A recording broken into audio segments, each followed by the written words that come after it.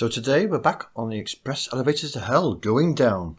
Yep, back in episode 21 I talked about the Alien RPG and they had the uh, cinematic starter kit. Well, last week the full Kickstarter arrived, so today I'm going to be talking about Alien, the role-playing game. So, I've uh, I went all in, and what do we get with the Kickstarter? Well, we get the core book, a big hefty hardback book, which is 400 odd pages, and we'll talk about more of that in a minute. You get two sets of dice. You get the base dice, which are all d6s. Um, they got like a futuristic science fiction numbering system on them, and on the six side is a target. And in this game, sixes are successes.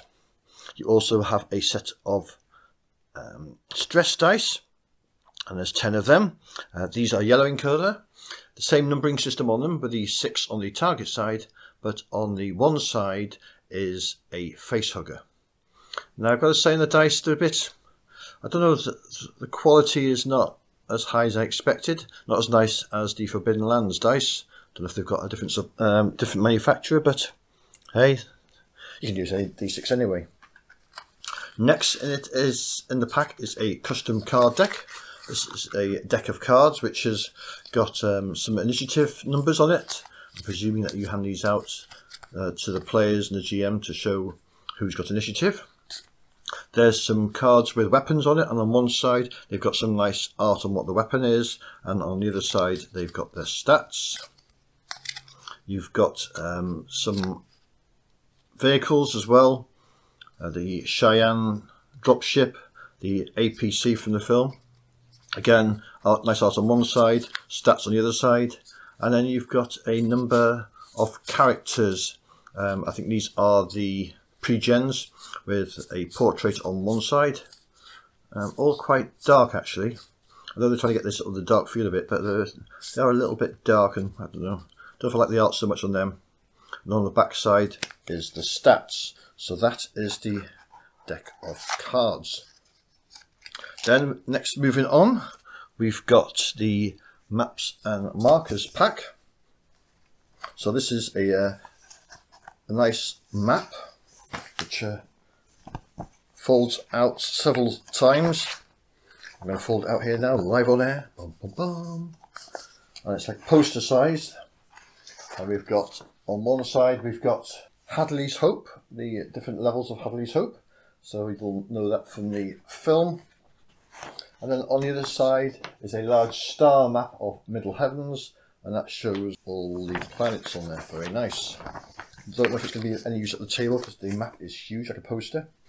And then there's some a sheet of cardboard tokens, not very thick. In fact, my my token board is actually a bit warped.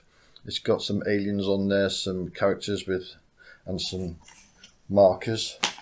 Not over impressed with them, I have to say. Bit of an afterthought. Then we've got, aha, the GM screen. Cleverly, in the Alien role-playing game, the GM is called Game Mother.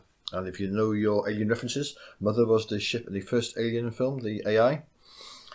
Not a big user, well, I don't use GM screens at all, but this one's nicely done. It's in landscape mode, so it's not going to sit too high, and you've got plenty of tables on one side, and on the other side, the middle screen, you've got a, a, the alien creature head. Okay, but probably not something I'm going to use. Then we've got the scenario that comes with it, Chariot of the Gods. Now the scenario was with the Kickstart, with the um, cinematic um, pack, so I don't know if this is going to be any different. Um, maybe we'll uh, look at it. See, no, I think it's going to be more or less the same, maybe just a bit better quality. So that's the Chariot of the Gods. So back to the core rulebook. Nice cover on the front, reminiscent from the original film, with uh, the somebody in a spacesuit in the front with a light on the top. Now, one thing I did notice about this book is that there's lots of uh, free space in it. I mean, some pages earlier on, I've got a couple of paragraphs on the whole page. Um, and I don't know if it's the, the best use of space here. I reckon they could probably cut another 50 odd pages out of this. A bit condensing, but hey. So, oh, smell the glue on it. So, um, what's in the core book? You've got uh, the first chapter, Space is Hell, which is um, talks about the career, the frontier life, uh, the careers on the frontier, what sort of um, characters you can play. The game modes, there's two game modes, cinematic and campaign. Some themes and tools of the game. Uh, then on to your characters, and we've got two sorts of character play, cinematic and campaign. Cinematic is your one shots, um, or if you're just doing a couple of episodes, so it's nice and simple um, to to uh, get up and playing. Yeah, you there are a number of characters pre-gens, and you pick those and you're up and running. While the in the campaign game, then you can decide just you can choose your characters and attributes, etc., etc. So the system is the mutant, uh, uh, the same system used in Mutant Year Zero and Forbidden Lands. They call it the um, the Year Zero engine, and the core mechanics are out there uh, as a SRD if you want to pick those up. So to create a character for Alien, you choose your career, you spend your points on your attributes, and your attributes are strength, agility, wits, and empathy. You choose, you spend points on your skills, and there are a number of skills in here. Uh, then you choose your career talent, choose your name, decide your appearance, decide your personal agenda, choose your buddy and your rival, pick your gear, and a signature item, roll for cash. So it's a simple uh, character creation point by system. Um, the you've got your let's have a look at the sort of characters you can play. So you've got a colonial marine, which is what most people want, want to play. You've got your company agent, your your Burke, a colonial marshal, a kid. Well, you always got a kid in the game, haven't you? A medic, an officer, a pilot, a roughneck, and a scientist. So those are your core character archetypes, your careers. And basically, in the game, you are rolling a number of d6, and you are looking for six act successes. And you roll a number of dice equal to your core attributes and your skill, and most cases, that um, you need one success to succeed.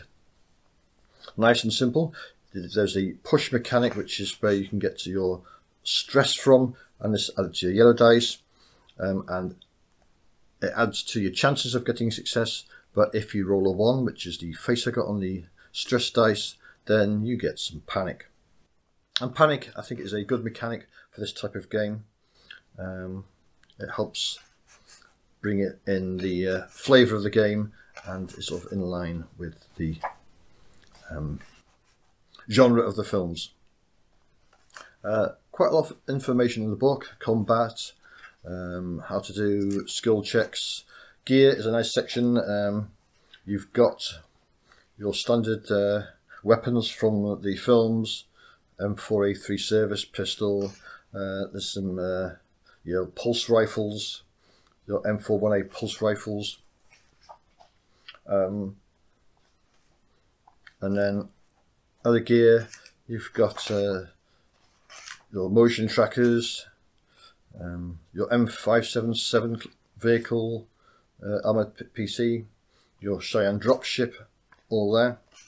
Um, so lots of information on there. Uh, then we also got some spaceships, life on the frontier, um, plenty of. Uh, we've even got some space combat as well, which is quite nice. Pilot actions. A couple of other ships ready for you. Um, at the back says um, how to do campaign play. Um, the bestiary wise, well, it's it's a bit lack. That's probably because there ain't a lot of alien types in there in the films. Um, it, it mentions the engineers, but there's no stats for the engineers, and a few people on the forums have whinged about that. But I think the engineers should not be a playable race. They should be something in the background. My my personal thoughts. They'd be too powerful anyway. On to the xenomorphs. Um, we've got the the egg sacs, the motes, the bloodbursters. These are, we've got the neomorphs, and then on to the xenomorphs. So there's not a lot of chestbursters, not a lot of creatures there. You've got neomorphs and xenomorphs, and uh, that's about it. Uh, it does mention other extra solar species, um, things like a swarm, harvesters, lionworms, Tanakan scorpionids, and that is your monsters. Now, because uh, the game is compatible with Mutant Year Zero and Forbidden Lands, um, you can quite easily take the um, creatures from those two games and port them across. Wouldn't be uh, too much work at all. Um, so yeah, that's uh, Alien role playing game. Um, if you're into uh, the Alien universe, then I would say yes, get it. Um, if you're not into Alien, you can certainly do uh, Alien with other systems. I've done it with ICRPG. I've done it with Mothership and Stay Frosty. So those are some alternatives if you've already got them. But uh, if you've got absolutely get everything Alien like I have, then yeah, unfortunately, it'd be another one you're buying.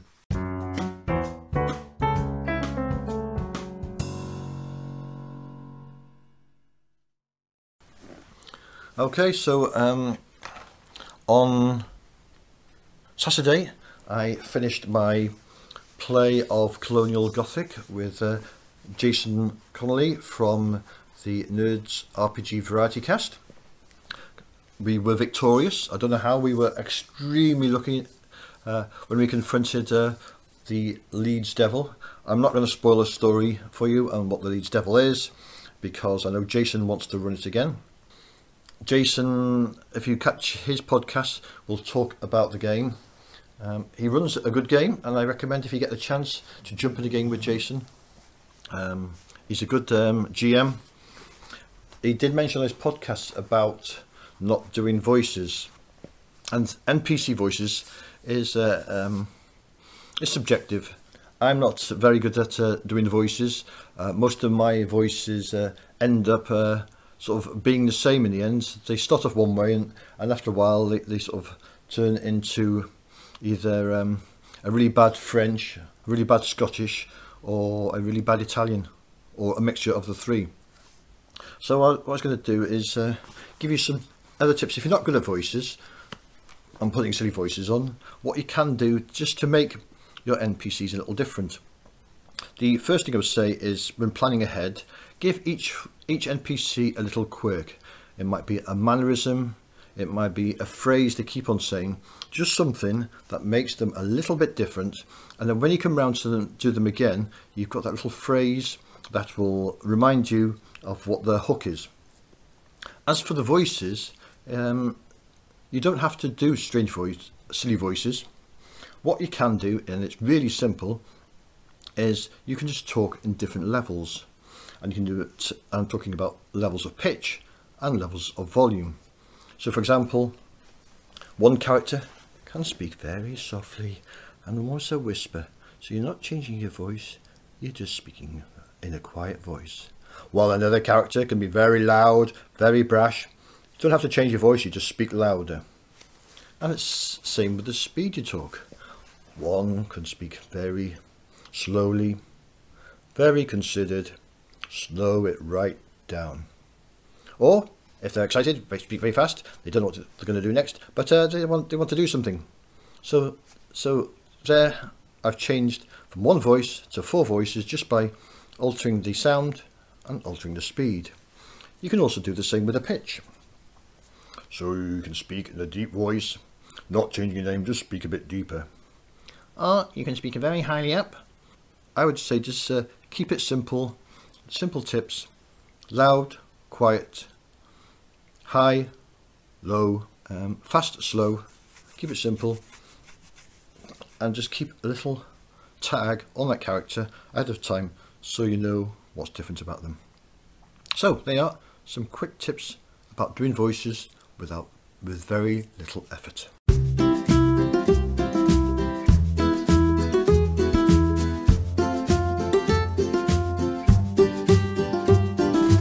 You have been listening to the Dragons Are Real podcast. My name is Pete Jones. You can find more information at my website at petejones.neocities.org or at my blog at dragonsarerealpodcast.tumblr.com.